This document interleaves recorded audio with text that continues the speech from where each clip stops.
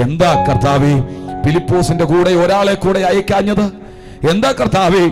എല്ലായിടത്തും അയക്കുമ്പോൾ രണ്ടുപേരെ കൂട്ടിയൊക്കെ അയക്കാറില്ലേ? രണ്ടുപേരെയൊക്കെ നിർത്താറില്ലേ?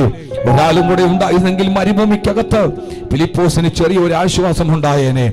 തമ്മിൽ പറഞ്ഞ് ആശ്വസിക്കാൻ ഒരു ആശ്വാസം ഉണ്ടായേനെ എന്താ കർത്താവ് ഫിലിപ്പോസിനെ ഒറ്റയ്ക്ക് അയച്ചത്? ഒറ്റയ്ക്ക് നിർത്തിയത്? അതെന്താണെന്നറിയാമോ? അവന് വേണ്ടി മാത്രം പുറപ്പെട്ടു വരുന്ന തേരാത് ആ വഴി അവന് വേണ്ടി മാത്രമുള്ളത്. അവന്റെ മേൽ മാത്രം നടക്കേണ്ട അത്ഭുതമാ. അതുകൊണ്ട് നിന്നോട് മാത്രം ഒരു പോരാട്ടം. നിന്റെ മേൽ ഒരു വലിയ കാര്യം നടക്കാനുള്ളത് കൊണ്ട് നിന്റെ വീടിന്റെ ഒരു വലിയ ദൈവമകത്വം വെളിപ്പെടാനുള്ളത് കൊണ്ടാണ് നിന്നോട് മാത്രം ഒരു പോരാട്ടം. നിന്റെ അകത്തൊരു അഭിഷേകമുള്ളത് കൊണ്ട് നിന്നോട് മാത്രം പോരാട്ടം. നിന്റെ അകത്തൊരു നിയോഗമുള്ളത് കൊണ്ട് നിന്നോട് ചിലർക്ക് യോജിക്കാൻ കഴിയാത്തത്. നിന്റെ മേൽ ഒരു വിളിയും തെരഞ്ഞെടുപ്പും ഉള്ളത് കൊണ്ട് നിനക്ക് നേരെ ചിലർ നിൽക്കുന്നത്. ചിലർ നിന്നെ മുറിവേൽപ്പിക്കുന്നത്. ചിലർ നിന്നെ വേദനിപ്പിക്കുന്നത്. സഹിച്ചോ ഒറ്റപ്പെടലിന്റെ നടുവിൽ ഒറ്റയ്ക്ക് നിന്ന് നീ അങ്ങ് അനുഭവിച്ചോ? നിന്നെ തേടി വരുന്ന ഒരു പേരുണ്ട്. നാട്ടുകാർ മുഴുവൻ നിന്റെ നേരെയാണോ? രക്തബന്ധങ്ങൾ മുഴുവൻ നിന്റെ നേരെയാണോ? കൂടപ്പുറപ്പുകൾ മുഴുവൻ നിന്റെ നേരെയാണോ? നിന്നെയാണോ എല്ലാവരും വേദനിപ്പിക്കുന്നത്? മറ്റാർക്കും കുഴപ്പമൊന്നുമില്ലല്ലേ? മറ്റു വീട്ടുകാർക്കാർക്കും കുഴപ്പമില്ലല്ലോ. അവർക്ക് പ്രശ്നമില്ല ഇവർക്ക് പ്രശ്നമില്ല. എനിക്ക് മാത്രമാണല്ലോ പ്രശ്നം. എനിക്ക് മാത്രമാണല്ലോ പ്രതിസന്ധി. കാര്യം എന്നറിയാമോ? നിനക്ക് വേണ്ടി ഒരു വലിയ ദൈവ പ്രവൃത്തിയുണ്ടെന്ന് പൈശാചിക ശക്തികൾക്കറിയാം. നീ രക്ഷപ്പെടാനുള്ളവളാണെന്ന്.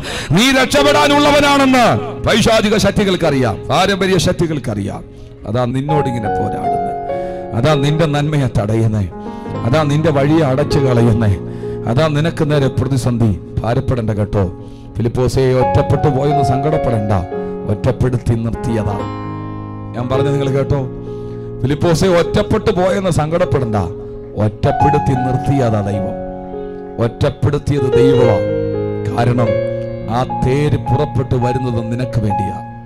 നീ ഒറ്റപ്പെട്ടു നിന്ന് നീ ഒറ്റയ്ക്ക് നിന്ന് ചില വലിയ മിനിസ്ട്രികൾ ചെയ്യാൻ പോവാ. രണ്ടുപേരുണ്ടായിരുന്നെങ്കിൽ അവിടെ ആശ്വാസം ലഭിച്ചേനെ. പക്ഷെ അപ്പുറത്ത് മിനിസ്ട്രിയിൽ അടിയുടെ പൂരം നടന്നേനെ. ആമൻ ആരെങ്കിലും കൂടെ ഉണ്ടായിരുന്നെങ്കിൽ ഇപ്പം സങ്കടപ്പെടണ്ടായിരുന്നു. ഇപ്പം രണ്ടു രണ്ടുപേർക്ക് തമ്മിൽ ഈ ഒറ്റപ്പെടലിന്റെ അവിടെ ആശ്വസിച്ച് നിൽക്കായിരുന്നു. പക്ഷേ തേര് വന്നു കഴിയുമ്പം ആരോടാ ചേർന്ന് നടക്കാൻ പറയണ്ടേ? ആരെയാ തേരെ കേറ്റണ്ടേ? ആരാ യശാമേൻ ആ ഷണ്ണനോട് സംസാരിക്കണ്ടേ? ആരെയാ നിർത്തണ്ടേ? ഒരുത്തനെ താഴെ നിർത്തണം ഒരുത്തനെ കയറ്റാനോ അവിടെ പ്രശ്നമായണേ അപ്പൊ അവിടെ ഒറ്റയ്ക്ക് നിർത്തി കാര്യം ചെയ്യിപ്പിക്കാൻ വേണ്ടിയാണ് നിന്നെ ഒറ്റപ്പെടുത്തി ഞാൻ നിർത്തിയേക്കുന്നത്.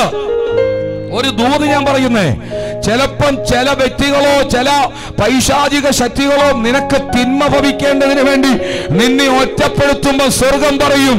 പിശാചെന്ന് പറയും വളരെ നന്ദിയുണ്ട് കേട്ടോ. നീ ഒറ്റപ്പെടുത്തിയെങ്കിൽ ആ ഒറ്റപ്പെടുത്തൽ ഞാൻ അവനൊരു നന്മയാക്കാൻ പോകുകയാണ്